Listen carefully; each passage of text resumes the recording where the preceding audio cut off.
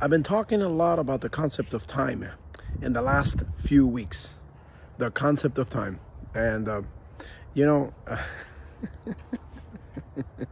it's amazing how much people talk about time um, as if it were something that was manipulated, that, that, that could manip be manipulated in ways uh, to our advantage.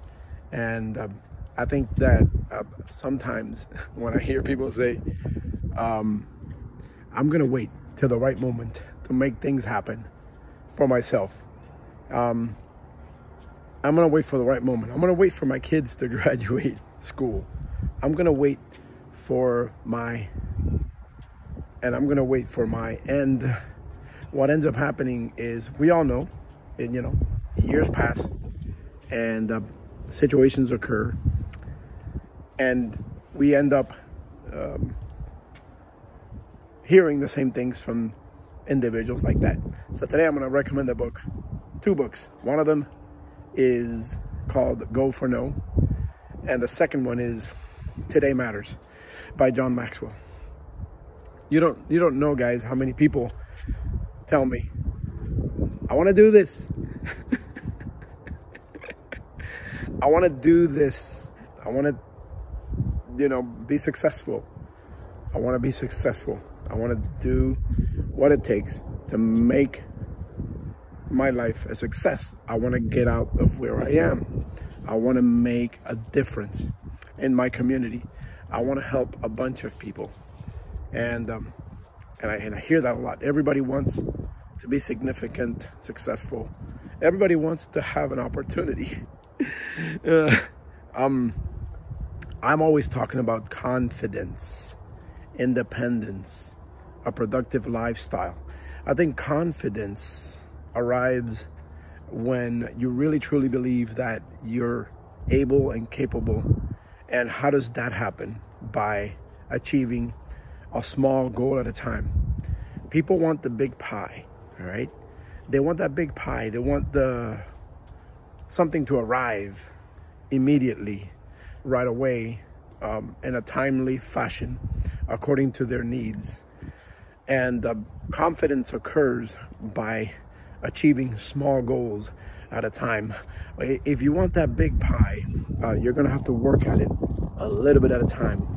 You're going to have to try to see if you can make one thing happen today uh, that will catapult you to that next one, right? Confidence comes not when you work on the big pie, but when you work on that little part of the big pie and you decide, you know, I've got what it takes inside of me, but I've got to make it succeed. I think I was listening to a person earlier this weekend in a conference where he was saying it takes about 212 degrees to move a locomotive that runs on heat, right? Um, water can boil at 212, but not at 211. And it's just that one degree that makes the difference between just warm or hot or boiling. And so what does it take for you to gain some confidence?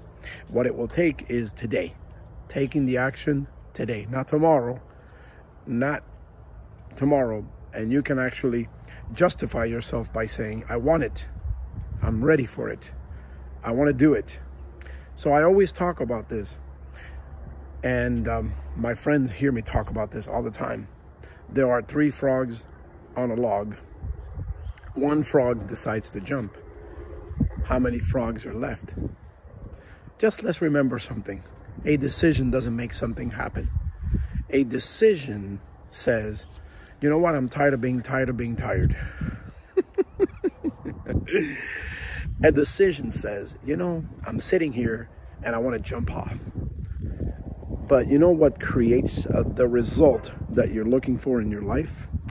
It's called the action step. It's that thing that's that that that moment you spring for it and you say, I'm going to stop saying I'm going to do this. I'm going to stop saying I'm going to get off this log. I'm going to stop saying I'm going to pay my debt off.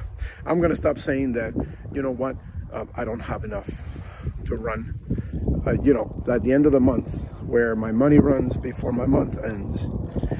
You know, it, it's it's it's that time when you say that that different the difference between saying, I want to do this, I'm ready to do it, but I'm not. I'm I'm I'm concerned about what's going to happen.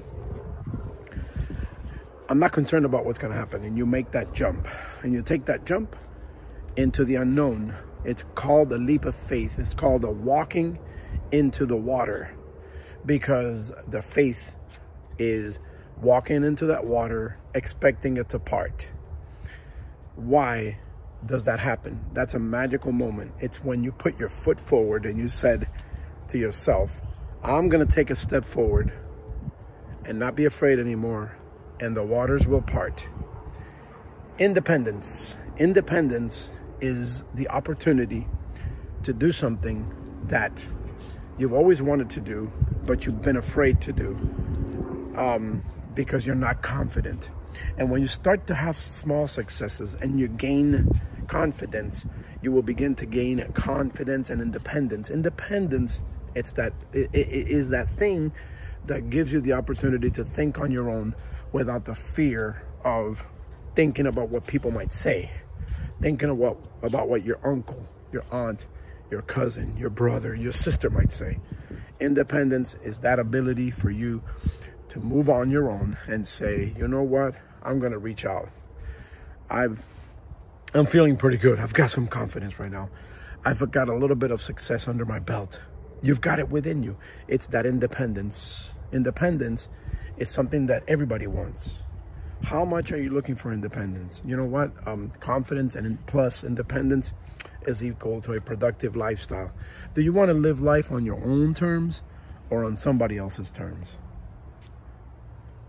My recommendation today is begin with that one step into the unknown because the waters will begin to part the moment you walk in faith into that unknown. It's not going to open for you if you don't go right through it. You know, there's a, in the old days, there used to be this, at the gates of these castles, the horse carriage had to run quick through this part of the opening where if the horse carriage did not move quickly enough, the doors did not open. So the horse carriage would continue the movement, right? The person that was pushing the horse would continue movement through the gates by just compelling the horses to go forward. If they stopped, the gates would never open. Remember, open the doors by walking. Even though you believe the door is not going to open, run through it because what will happen is the doors will open. When you knock, the door shall be open. When you walk, the, the seas shall be parted. That's what's going to happen. I love those anecdotes, those stories, because they show that with faith, you can make things happen for yourself, for your family, and for others. How many times have you told yourself, I want to do this, but I just don't know how? And um, the magic is in stepping into faith. The magic is in setting that foot forward so that you can become independent through confidence and have a productive lifestyle. Have a wonderful day, everybody.